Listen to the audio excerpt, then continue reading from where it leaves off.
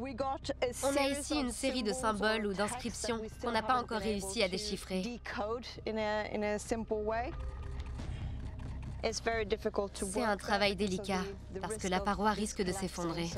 Je voulais descendre ici, mais Non, ce n'est pas possible. C'est trop dangereux. j'ai un peu peur de ça. Non, non, non, c'est dangereux. Si ça s'écroule... euh, Vas-y.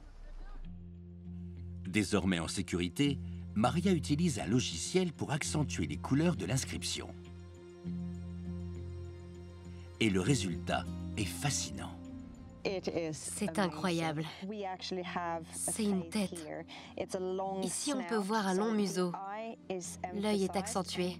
Et là, ce sont les dents. C'est une tête de crocodile. Mais en examinant le motif de plus près, Maria découvre qu'il ne s'agit pas d'un crocodile, mais de quelque chose d'encore plus étonnant. Ça, c'est le contour d'un ventre. Et ce contour m'indique une chose.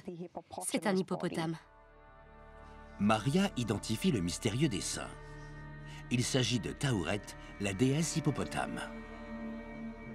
Taouret était la principale divinité féminine vénérée sur ce site, et on lui attribuait souvent un rôle de protectrice. Les Égyptiens priaient Taouret pour qu'il ne leur arrive pas malheur, et Maria pense que ce motif a été dessiné par un ouvrier. Ce n'est pas une stèle officielle dédiée à cette divinité. C'est une prière personnelle pour demander protection à la déesse. Ainsi, cet ouvrier cherchait à obtenir la protection de Taouret. Le travail sur le site de la carrière était dangereux et l'espérance de vie courte. Il voulait être protégé. Quand je vois ça, je me sens tellement proche des anciens. Le monde a beaucoup évolué. Et malgré toutes les technologies qu'on a aujourd'hui, on recherche toujours la sécurité. Tout ce qu'on veut, c'est que notre famille soit en sécurité et pouvoir vivre.